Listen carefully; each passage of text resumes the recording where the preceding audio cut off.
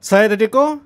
Di video sebelumnya saya sudah compare keempat handphone ini mulai dari display dan speakernya.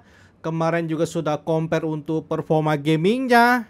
Di video kali ini saya compare lagi keempat handphone ini. Kali ini yang kita compare adalah kualitas kamera dari keempat handphone ini. Karena keempat handphone ini adalah handphone 2 jutaan yang bisa teman-teman beli saat ini. By the way, sekadar info, keempat handphone ini menggunakan sensor kamera yang sama. Sama-sama menggunakan sensor dari Samsung S5 KJN1 yang beresolusi 50 megapiksel. Jadi di sini kita bisa lihat siapa yang tuning kameranya yang paling bagus. Jadi langsung saja nggak lama kita langsung compare keempat handphone ini. Pertama-tama kita kenalan dulu dengan keempat handphone ini. Takutnya ada yang komplain. Pertama ini adalah Poco M5 untuk harga barunya di 2,3 juta rupiah dan teman-teman mendapatkan varian RAM 4128. Kedua yang ini adalah Tecno Pova 4, harga barunya saat ini di 2,4 juta dan teman-teman mendapatkan varian RAM 8128. Yang ketiga ini adalah Infinix Hot 20s untuk harga barunya di 2,3 jutaan dan teman-teman mendapatkan varian RAM 8128. Yang keempat ini adalah Realme 10, harga barunya di 2,8 juta dan teman-teman mendapatkan varian RAM 4128. Di sini kita lihat lagi sensor kamera dari keempat handphone ini. Keempat-empatnya sensor kamera utamanya di 50 megapiksel menggunakan sensor dari Samsung S5 KJN1. Keempat-empatnya pakai sensor yang sama. Di sini yang beda adalah kamera depan dari tiap-tiap handphone ini. Kalau Poco M5 16 megapiksel pakai sensor OmniVision, kalau Tecno Pova 4 8 megapiksel pakai sensor dari Samsung, kalau Infinix 120S 8 megapiksel pakai sensor dari Galaxy Core, kalau untuk Realme 10 8 megapiksel pakai sensor dari OmniVision. Kita langsung lihat hasil foto yang pertama. Kita foto dynamic range. Di sini ada tanaman dan juga ada langit dan ada awan. Dan di sini bersyukur banget Jakarta lagi cerah sekali. Di sini kalau Poco agak sedikit gelap, kalau Infinix dia lumayan terang, tanamannya juga lumayan hijau. Kalau Tekno juga agak sedikit gelap, kalau yang saya lihat di sini sih yang cukup menarik itu di Realme 10 dengan Infinix ya. Jadi ini bersifat penilaian saya ya. Jadi teman-teman juga bisa silakan nilai sendiri. Untuk hasil fotonya saya taruh full quality. Jadi teman-teman bisa lihat. Untuk foto yang kedua ini saya nggak nyangka banget ya. Untuk Infinix sama Realme itu bagus banget ya. Teman-teman lihat untuk awannya, langit birunya. Kalau Infinix memang agak kebiruan lebih oke okay di Realme ya. Realme masih nggak terlalu biru, tapi untuk pohonnya juga lumayan terang di Infinix loh. Ini berarti tuning kamera dari Infinix sudah mengalami banyak kemajuan loh. Lalu untuk foto ini juga empat-empatnya sudah sama-sama bagus banget. Untuk langit di belakang juga masih kelihatan semua. Untuk pohonnya juga masih kelihatan hijau dan cukup terang. Cuman Poco dia agak sedikit gelap ya. Infinix, Tecno, Realme, Realme itu dynamic range-nya benar-benar mantep banget ya.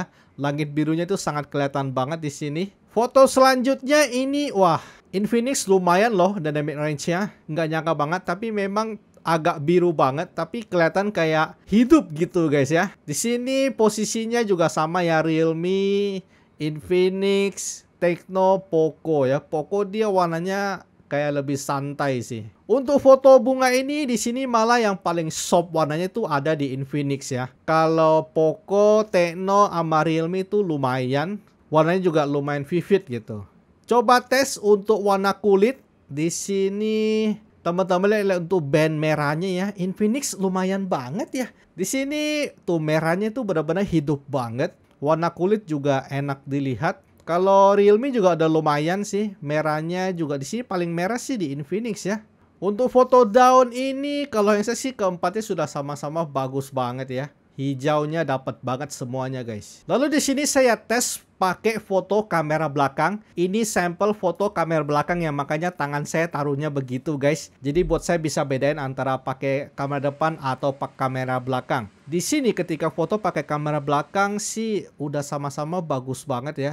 Cuman kalau kita lihat di sini yang paling bagus sih Realme lumayan, Poco juga lumayan guys ya. Tapi teman-teman lihat dynamic range yang di belakang itu. Kalau di Realme itu hilang. Kalau Poco, Infinix sama Tecno masih ada gitu langit-langit di belakangnya. Untuk selfie-nya di sini kalau yang saya sih paling terang itu ada Realme sama Poco lumayan bagus untuk selfie-nya guys ya. Tekno juga lumayan, tapi kalau disuruh pilih ini di antara Realme sama Poco sih untuk selfie-nya. Di sini paling kurang itu di Infinix. Di sini kita coba selfie lagi. Di sini kayaknya untuk Infinix ini kayak terkena sinar matahari ya. Di sini untuk Realme bagus, Poco lumayan. Realme sama Poco sih untuk selfie-nya itu lumayan bagus, guys. Di sini coba selfie lagi dan keempat-empatnya dari MX masih dapat ya. Ini selfie. Di sini kalian sih Poco kena sinar matahari ya. Kalau yang tiga ini enggak. Di sini Realme lumayan menarik, Poco juga lumayan menarik. Kalau Infinix agak kurang di sini untuk kamera depannya. Tekno juga masih lumayan. Lalu kita lihat night mode. Nah, di sini sangat menarik karena kalau night mode itu software tuningnya paling bagus yang mana. Di sini untuk Poco M5 memang agak lumayan agak santai ya. Di sini yang paling terang memang kelihatan di Infinix sama Tekno. Di sini kalau menurut saya yang lebih pas sih ada di Realme sama Poco sih guys ya. Poco yang lumayan oke okay sih night mode-nya ya. Kalau Realme masih kayak kelihatan agak terlalu brightness gitu loh. Tuh foto yang kedua juga masih sama Infinix memang terang banget, Tekno juga lumayan terang ya. Jadi memang night mode itu dibikin sangat terang banget. Tapi di sini kalau yang saya sih paling pas itu ada di Realme guys. Itu night mode-nya kayak pas gitu, enak dilihat. Kalau Poco agak terlalu gelap di sini. Kalau untuk Nebot yang ketiga ini kalau yang saya sih kurang lebih sama ya. Jadi tergantung objek pas di foto sih kalau naik boot ya. Kalau ini kayak kurang lebih sama. Lalu kita coba tes selfie ya. Ini selfie di malam hari. Dan di sini kenapa Realme paling terang? Karena Realme itu kamera depannya ada night mode-nya guys. Sedangkan untuk ketiganya Poco, Infinix, sama Tekno tidak ada night mode-nya. Makanya tidak sebagus Realme di sini. Di sini juga sama ya. Jadi kamera depan malam hari itu Realme juara banget. Karena dia ada night mode-nya guys ya. Di sini kalau untuk ketiganya Tekno lumayan sih. Kalau Poco dia jadi warm banget ya. Warna kulitnya jadi biru banget. Kalau Infinix jadi putih banget gitu. Ini adalah sampel perekaman 10 30 fps menggunakan Realme 10, Poco M5, Hot 20s dan Hot 20s dan POVA 4. Di sini POVA 4 yang lebih unggul untuk stabilizer. Tapi kalau POVA detection stabilizer dia kayak ngezoom gitu guys. Dan untuk warnanya kayak sedih banget ya. Kita coba sorot daun ini. Oke. Okay ini adalah sampel kamera 10, Poco M10, Poco M5, Poco 4 dan Poco MTS ya. Jadi ini kamera depan 1080 30 fps. Cuma di sini kelebihan keren karena dia ada stabilizer, makanya dia paling stabil guys.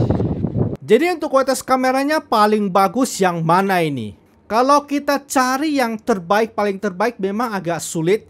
Jadi kadang ada di posisi ini brand ini yang bagus, sekarang di posisi ini brand ini yang bagus kadang posisi ini brand ini yang bagus gitu jadi tidak bisa kita ambil satu unit paling mutlak itu tidak bisa guys ya. Karena kayak ada kelebihan dan kekurangannya masing-masing di sini. Di sini kalau foto siang hari dynamic range itu Infinix lumayan banget. Dia langit-langitnya itu dapat banget dan bisa bersaing dengan Realme loh itu benar-benar sesuatu peningkatan sih untuk sebuah brand Infinix ya. Lalu kalau untuk malam harinya di sini paling oke okay memang ada di Realme 10 itu udah wah memang kelihatan lumayan oke okay banget Realme 10 ya. Kalau kamera depan juga Realme 10 sangat menarik banget. Poco juga udah lumayan sih. Di sini Infinix Hot 20s agak kurang kalau kamera depannya. Belum lagi naik boot kamera depan Realme itu udah the best banget. Sayang banget ya ketiga itu tidak ada naik boot kamera depan. Kalau ada sih mungkin bisa bersaing gitu. By the way, segini saja untuk compare kualitas kamera menggunakan keempat handphone ini. Poco M5, Infinix Hot 20s, Realme 10, Techno Poco 4 di rank harga 2 jutaan. Dan teman-teman silahkan pilih. Pilih yang kalian mau gitu untuk kameranya yang sesuai dengan karakter kalian.